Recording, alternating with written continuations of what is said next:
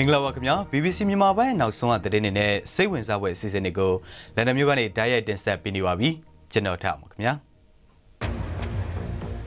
ရှီမတိုးနောက်ဆုံးနိုင်ဖြစ်နေတဲ့ Brexit ရေးကြော်လွှားနိုင်ဖို့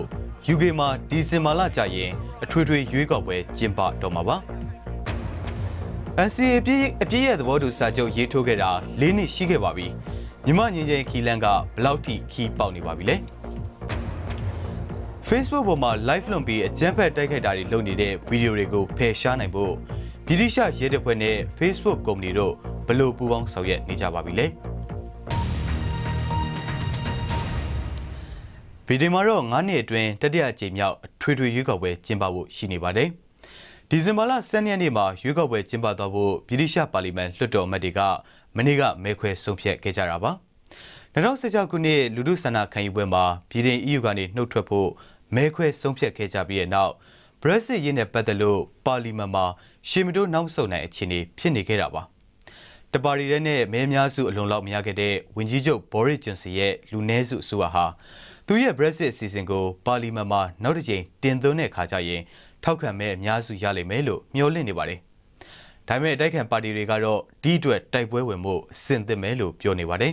ကိုဘိုဘိုကဆက်ပြောပြမှာပါ ပြည်တိုင်မှာနိုင်ငံရေးညှင်းခုန်ပွဲကြီးတစ်ခုအတွက်ဆင်သင့်ဖြစ်နေပါပြီ The eyes to the right 438သဘောတူတွေပေးတာက483မဲကံကွက်တွေပေးတာက20မဲခုတော့သဘောတူတဲ့သူတွေနိုင်သွားပါပြီဒီဇင်ဘာလ10ရက်နေ့မှာကျင်းပမယ့်အထွေထွေရွေးကောက်ပွဲအတွက်ပြည်ထောင်စုလွှတ်တော်အမတ်တွေထောက်ခံမဲပေးနေကြတာဖြစ်ပါတယ်။ပြည်တင် EU ကနေခွဲထွက်ရေး Brexit ကိစ္စနဲ့ပတ်သက်ပြီးတော့ပါလီမန်မှာကွဲလွဲမှုတွေများခဲ့ပါတယ်။ There is only one way ကျွန်တော်တို့ဒီမိုကရေစီစိတ်ဓာတ်ကိုပြန်အသက်သွင်းဖို့ဒီတနည်းပဲရှိပါတယ်ပါလီမန်ကိုဒီနိုင်ငံကပြည်သူတွေလေးစားမှုပြန်ရဖို့ကလည်းဒီနည်းနဲ့ပဲရမှာပါလူလူရဲ့အဆုံးဖြတ်ကိုယူဖို့ကျွန်တော်တို့ကိုကိုကျွန်တော်တို့အနှင်းရမှာပါ offer ourselves to the judgment of the people of this country အဓိကအတိုက်ခံပါတီထဲမှာတော့လူတိုင်းကရွေးကောက်ပွဲလုပ်ဖို့လက်ခံကြတာမဟုတ်ပါဘူးဒါစင်နဲ့ခီးတဲ့အမတ်တွေကရွေးကောက်ပွဲကိုကန့်ကွက်ကြပါတယ်ပါတီခေါင်းဆောင်ကတော့အသင့်ဖြစ်နေပြီလို့ပြောပါတယ် we're going out there to fight ရွေးကောက်ပွဲမဲဆွဲဖို့ကျွန်တော်တို့တွားကြရမယ်လမ်းလေးပေါ်ရှောက်လက်စီယုံဖို့စိတ်ဆိုးနေပါတယ်ဒီနိုင်ငံကမြို့ရင်းရွာတိုင်းမှာ labor တွေရောက်လာပါလိမ့်မယ်ဒီဆိုရကဘာမျောလင့်ချက်မှမပေးမိမဲ့ labor တွေကတကယ်မျောလင့်ချက်ပေးမှာပါ offers nothing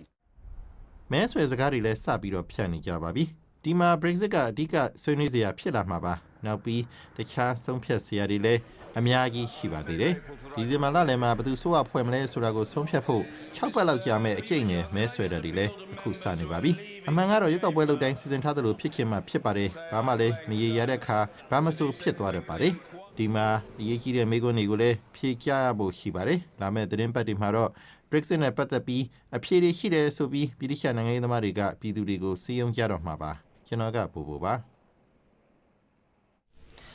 တိုင်းသားလက်နက်ကိုင်အဖွဲ့တချို့နဲ့အစိုးရတို့ကြားတနင်္ဂနွေလုံးပြစ်ခတ်တိုက်ခိုက်မှုရစဲရေးသဘောတူစာချုပ် NCA လက်မှတ်ရေးထိုးခဲ့တာ၄နှစ်ပြည့်ခဲ့ပါပြီ။ဒါပေမဲ့ NCA ငြိမ်းချမ်းရေးလုပ်ငန်းစဉ်ဟာနှေးကွေးနေတဲ့ဒီသဘောတူစာချုပ်အကောင့်ထဲပေါ်ရေးမှာအခက်အခဲတွေရှိနေတယ်လို့တိုင်းသားခေါင်းဆောင်တွေဘက်ကထောက်ပြနေကြပါတယ်။ဒီငြိမ်းချမ်းရေးခီးစဉ်မှာဘလို့အတားအဆီးတွေရှိနေတာပါလဲ။ဒါကိုကြော်လာဖို့အတွက်ဘာတွေလှုပ်ဆောင်သင့်ပါသလဲ။ NCA ခီးစဉ်တစ်လျှောက်မှာထဲထဲဝင်ဝင်ပါဝင်ခဲ့တဲ့ နိုင်ငံရေးလေးလာသုံးသက်သူဦးအောင်နိုင်ဦးကို BBC ကြည်တန်းသတင်းတောက်စောရန်နိုင်ကတီးသန့်တွေ့ဆုံမေးမြန်းထားပါတယ်။ဒီလင်းနှစ်တာကာလမှာဒီ NCA ရဲ့အနှစ်သာရပေါ့နော်ဘယ်လောက်ထိလက်တွေ့မှာဘယ်လောက်ထိထေဟတယ်အဲအခုလောလောဆယ်ကတော့အခက်ခဲတွေတော့ရှိနေတာပေါ့နော်အခုဆိုရင်လည်းဟလာဟိုဒီပြန်ပြီးတော့မစနိုင်တာအဲတရားဝင်မစနိုင်တာတစ်နှစ်လောက်ရှိပေါ့နော်ဒါပေမဲ့ဆွေးနွေးပွဲတွေကတော့ကြားထဲမှာတော့ဖြစ်နေတာပေါ့ အဲ့တော့ NCA ရဲ့ဒီပေါ်မှာကြည့်ရင် NCA ပေါ်မှာအနှစ်သာရဘယ်လောက်ထိရှိတယ်ဆိုတော့အများကြီးတော့ရှိနေသေးတယ်လို့ပြောလို့ရတယ်အဲ့တော့ဟိုတက်မတော်ဘက်ကိုကြည့်တဲ့အခါမှာလည်း NCA ကိုချိုးပေါက်တယ်ဆိုတာသူလက်ညှိုးထိုးမခံနိုင်တာတွေတွေ့ရမယ် EU ဘက်ကိုကြည့်လို့ရှိလို့ရှင်လဲငါတို့ကတော့စပြီးတော့ချိုးဖောက်တယ်ဆိုတာမျိုးတွေအဖြစ်မခံနိုင်တာမျိုးတွေအပြောမခံနိုင်တာမျိုးတွေတွေ့ရတယ်အစိုးရလည်းဒီသဘောပဲအဲ့လိုဖြစ်နေတဲ့အတွက်တနည်းအားဖြင့်ပြောရလို့ရှိရင်တော့ NCA ပေါ်မှာအားလုံးကတော့ဟာလာဟိုတစ္ဆာတော်တော်ရှိရှိနဲ့ဆက်လုပ်နေကြတဲ့သဘောတော့ရှိတယ် ဆိုတော့ဒီတချို့ကလည်းသုံးသပ်နေကြတာပေါ့နော်ဒီ NCA လမ်းကြောင်းကနေတစ်ဖက်မှာလည်းဒီတိုက်ပွဲတော့မဖြစ်ဘူးဒါပေမဲ့နိုင်ငံရေးရသဘောတူညီမှုမရဘူးဖြစ်နေပေါ့နော်ညှိရင်ညှိရင်နဲ့အဲ့လိုမျိုးသဘောတူညီမှုမရပဲဖြစ်နေတာပေါ့လေဆိုတော့လက်ရှိအခြေအနေမှာဘယ်လိုမျိုးသုံးသပ်လဲအဲ့တော့ကျွန်တော်တော့စိုးရင်တာပေါ့ဗျာစိုးရင်လည်းဆိုတာကတော့ခုနပြောလို့ပြန်မစနိုင်ရင်လက်ရှိအခြေအနေကကျွန်တော်တိတ်တော့ကျွန်တော်မကြိုက်ဘူးပေါ့နော်။ဘာလို့ဆိုတော့လက်ရှိအခြေအနေက ကျွန်တော်တို့ဒီပြိပခလေးလာရေးမှာအဲခေါ်မယ်ဆိုရင်တော့ဒါ frozen conflict လို့ခေါ်တာပေါ့နော်။ဟိုအေးခဲနေတဲ့ဒါမှမဟုတ်အေးခဲသွားတဲ့ပြိပခလို့ပြောလို့ရတာပေါ့။ဆိုတဲ့သဘောကတော့အေးခဲသွားတဲ့ပြိပခဆိုတဲ့သဘောဟာသူကနိုင်ငံရေးလည်းအဖြစ်မရဘူး။တိုက်ပွဲတွေလည်းအများကြီးမဖြစ်တော့ဘူး။အဲ့လိုအနေထားဟိုမရောက်ဒီမရောက်အနေထားပေါ့ဗျာနော်။တနည်းအားဖြင့်ပြောရရင်ဒါပေမဲ့အေးခဲနေတဲ့ဆိုတဲ့အနေထားမှာပဲအဲလှုပ်ရှားမှုတွေကမရှိနေတာမဟုတ်ဘူးအဲ့တော့အေးခဲနေတဲ့အနေထားမှာပဲ तू က ခုနလုံညုံရေးရတော့လကောင်းစီရေးရတော့လကောင်းဟာလာဒီဟောပေါ့အကာအကွယ်ရေးစဉ်းစားချက်ရတော့လကောင်းဟာလာလက်နဲ့လူတူဖြစ်တင်တာငွေရှာတာဒါတွေကကျွန်တော်တို့ကတခြားနိုင်ငံတွေမှာလည်းအများကြီးဖြစ်ခဲ့တဲ့တာရကတွေရှိတယ်အဲ့လိုဖြစ်တဲ့အတွက်အခုလိုငြိမ်းချမ်းရေးပြန်မဆနိုင်ရင်တိုက်ပွဲတွေဖြစ်လို့ရှိရင်ပြန်ဖြစ်တယ်ဆိုရင်ပို့ပြီးတော့ပြင်းထန်တဲ့သဘာဝရှိတယ်ဒါကတခြားနိုင်ငံတွေမှာကျွန်တော်အများကြီးတွေ့ခဲ့ဘူးတဲ့အခါကျတော့ကျွန်တော်တို့နိုင်ငံကအခုအခုလာမယ့်နှစ်ဆိုလို့ရှိရင်လည်းရွေးကောက်ပွဲလည်းဖြစ်တော့မယ် အဲ့ခုနပြောတဲ့အေးခဲနေတဲ့ပြိပခရဲ့အနောက်ကွယ်မှာဖြစ်နေတဲ့ကိစ္စတွေကလည်းအများကြီးရှိနေတယ်ဒါကြောင့်မို့လို့ပြန်မဆနိုင်ရင်ရွေးကောက်ပွဲလာတော့မှာဆိုတော့ဘာတွေဖြစ်မလဲချိုးဖောက်မှုတွေဖြစ်လို့ရှိရင်ဘယ်သူကထိမ့်သိမ့်မလဲဒါတွေကိုကျွန်တော်တို့ကစိုးရိမ်တဲ့အတွက်ကျွန်တော်တို့ပြောနေတာဖြစ်ပါတယ်အရေးကြီးတာကတော့ကျွန်တော်ခဏခဏပြောနေတာကတော့ဖိလစ်ပိုင်နိုင်ငံဟာငင်းငိုင်းလုပ်ငန်းတွေဘာဖြစ်လို့အောင်မြင်လဲကျွန်တော်တို့မေးကြည့်ပါတယ်သူတို့ပြောတာကတော့အပြစ်ခတ်ရက်စဲရေးတွေကိုခိုင်ခိုင်မာမာ တိဆောက်နိုင်လို့ဖြစ်တယ်လို့ပြောပါတယ်။ဒါကြောင့်မလို့ကျွန်တော်တို့ကဘယ်လိုပဲဖြစ်ဖြစ်ဟလာနိုင်ငံရေးဆွေးနွေးပွဲမှာအခက်အခဲရှိနေရင်တောင်မှအပြစ်ခတ်ရက်စဲရေးတွေခိုင်မာအောင်လုပ်ဖို့လိုတယ်။အပြစ်ခတ်ရက်စဲရေးတွေခိုင်မာတယ်ဆိုရင်ကျွန်တော်တို့ကဟလာရှင်းနှစ်လာမဲ့ရွေးကောက်ပွဲကိုကျွန်တော်တို့ရဲရဲတင်းတင်းဖြတ်တန်းနိုင်မယ်လို့ကျွန်တော်အနေနဲ့ထင်တယ်။မဟုတ်ဘူးဆိုလို့ရှိရင်တော့ပြိပခဖြစ်တဲ့ဒေသတွေမှာအခက်အခဲတွေအများကြီးဖြစ်နိုင်တယ်လို့ထင်တယ်အခုတော့တခြားထိပ်တန်းရောက်တဲ့တင်တွေကိုဆက်ပြီးရှုစားကြရအောင်ပါ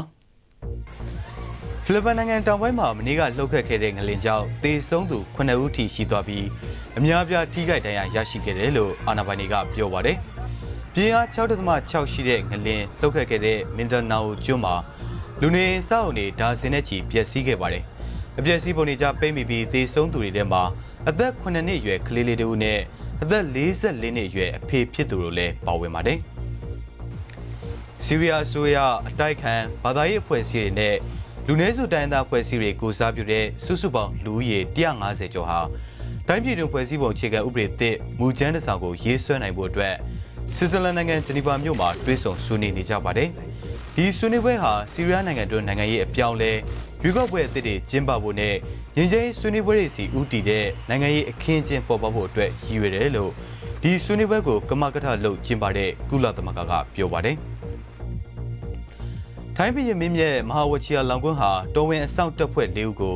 ယာဒူးကနေထုတ်ပယ်လိုက်ပါတယ်။အဲဒီထဲက2ဦးဟာအိမ်တော်ရေးဖောက်ပြန်ခဲ့တယ်လို့လည်းသူကဆွဆွဲထားပါတယ်။ပြီးခဲ့တဲ့9ရက်ကလည်းသူ့ရဲ့ကိုလုတ်တော်ဟာသစ္စာမရှိဘူးလို့ဆွဆွဲပြီးယာဒူးကနေဖယ်ရှားခဲ့ပါတယ်။ထိုင်းပြည်နန်းတော်အိတ်ခမ်းဆောင်မှာတာဝန်ထမ်းဆောင်တဲ့အမျိုးသားအဆောက်တပ်သား2ဦးဟာလည်းမတော်တရော်တွေလုပ်ခဲ့တယ်ဆိုပြီးဖယ်ရှားခဲ့ပါတယ်။ထိုင်းနိုင်ငံရဲ့တင်းကျပ်တဲ့အသေးဖြတ်မှုဥပဒေအရတော်ဝင်မိသားစုကိုဝေဖန်ပြောဆိုတာဟာ ထောင်15နှစ်အထိပြည်ဒဏ်ကြခံရနိုင်ပါတယ်။တရုတ်နိုင်ငံနောက်ပိုင်းရှင်ကျန်းပြည်နယ်ထဲမှာဝီဂါမွတ်စလင်တွေကိုတရုတ်အစိုးရကထိမ့်သိမ်းထားတဲ့ပတ်သက်လို့ကုလသမဂ္ဂကဝေဖန်ပြစ်တင်လိုက်ပါတယ်။တရုတ်နိုင်ငံရဲ့လူခွေရေးမှတ်တမ်းကိုရှုံချဖို့အတွက်ဗြိတိန်အစိုးရရဲ့တင်သွင်းချက်ကိုနိုင်ငံပေါင်း23နိုင်ငံကထောက်ခံခဲ့ပါတယ်။ကုလသမဂ္ဂဆိုင်ရာတရုတ်တံမတ်ကြီးကတော့ဒါဟာအကြမ်းဖက်မှုကိုနှိမ်နင်းတာလို့တုံ့ပြန်ပါတယ်။ ဝီဂါမွတ်စလင်တသန်းကျော်နဲ့တခြားလူနည်းစုတိုင်းရင်းသားတွေကိုထိန်းသိမ်းစကန်တွေမှာထားရှိထားတယ်လို့လူခွင့်ရေးအဖွဲ့တွေကထောက်ပြပြောဆိုနေကြပါတယ်ခင်ဗျာ Facebook မှာ live လွန်ပြီးအကြမ်းဖက်တိုက်ခိုက်နေသူတွေကိုတားဆီးနိုင်ဖို့အတွက် Facebook ကုမ္ပဏီနဲ့ပြည်ထောင်စုရဲတပ်ဖွဲ့တို့ပူးပေါင်းဆောင်ရွက်နေကြပါတယ်ရဲတပ်ဖွဲ့ဝင်တွေဟာ Facebook ကုမ္ပဏီကပေးထားတဲ့ကင်မရာတွေကိုသူတို့ရဲ့ကိုယ်ခန္ဓာမှာတက်ဆင်ပြီးတော့အကြမ်းဖက်သမားတွေကိုဘလို့ကင်တွယ်နှိမ်နင်းမလဲဆိုတာကို တရုတ်ပြလေ့ကျင့်နေကြတာပါဒါကိုလည်းသူတို့မှတ်တမ်းတင်ထားကြပါတယ်နောက်ပြီးပြီးခဲ့တဲ့နှစ်နှစ်တာကာလအတွင်းကမ္ဘာတဝန်းအကြမ်းဖက်အဖွဲ့အစည်းတွေရဲ့ Facebook post 26တန်းကျော်ကို Facebook ပေါ်ကနေဖယ်ရှားနိုင်ခဲ့တယ်လို့သူတို့ကဆိုပါတယ်ဒီလိုမျိုးလာတူဗီဒီယိုတွေတင်လာရင် Facebook ပေါ်ကနေအလင်းမြန်ဖယ်ရှားနိုင်လိမ့်မယ်လို့လည်းမျှော်လင့်နေကြပါတယ်ကိုအောင်သွင်ကဆက်ပြောပြမှာပါ That's where the police just heard just said. အကြမ်းဖက်တိုက်ခိုက်မှုတစ်ခုကိုကင်တွယ်တဲ့တရုတ်တူလေ့ကျင့်ခန်းတစ်ခုကိုလက်နက်ကင်လုံခြုံရေးအရာရှိတွေလေ့ကျင့်နေကြတာပါမတုံးတော့တဲ့စာအုပ်တစ်ခုထဲမှာတနက်သမားတွေပုံနေတယ်လို့မျိုးဇလန်းဆင်ထားပါတယ်ပြီးတော့သူတို့ကိုယ်ပေါ်မှာ Facebook ကပေးထားတဲ့ကင်မရာတွေကိုသုံးပြီးဗီဒီယိုရိုက်တာတွေလည်းလုပ်ပါတယ် That gives us the ဒီဗီဒီယိုတွေကတစ်ဆင့်တရန်သမားတယောက်ရဲ့ဗီဒီယိုရိုက်တဲ့ရှုထောင့်မျိုးကိုလေ့လာဖို့ကျွန်တော်တို့အတွက်အခွင့်အရေးပါပြီးတော့အဲ့ဒီဗီဒီယိုတွေကို Facebook ကိုမျှဝေပြီး algorithm နည်းနဲ့ဒီလိုပုံစံမျိုးဗီဒီယိုတွေအင်တာနက်ကိုရောက်လာတာနဲ့အမြန်သိအောင်လုပ်ပြီးထပ်ပြီး share လို့မရအောင်တားဆီးနိုင်ပါလိမ့်မယ်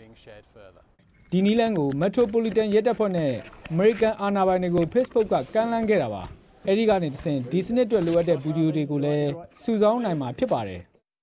artificial intelligence လို့ခေါ်တဲ့ပုံရိပ်အောင်နည်းပညာကိုသုံးပြီးအကြမ်းဖက်မှုနဲ့ပတ်သက်တာတွေ Facebook ကစောင့်ကြည့်နေပါတယ်။ဒါပေမဲ့ New Zealand ကဗလီပြစ်ခံရတဲ့ဗီဒီယိုတွေပြန်သွားတာကိုမတားဆီးနိုင်တဲ့အတွက်တော့ Facebook ကိုဝေဖန်ပြစ်တင်ခဲ့ကြပါတယ် The Christchurch attack Christchurch တိုက်ခိုက်မှုဗီဒီယိုပြန်သွားတာက